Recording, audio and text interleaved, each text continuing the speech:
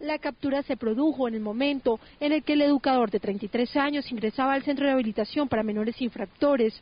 Un agente al practicarle una requisa le encontró en los zapatos marihuana y pegante. El educador es uno de los coordinadores del centro de rehabilitación. Y de acuerdo a los protocolos de judicialización, es capturado en flagrancia y se coloca a disposición de la autoridad competente. Según las autoridades, los otros profesores notaron en el detenido aptitudes sospechosas.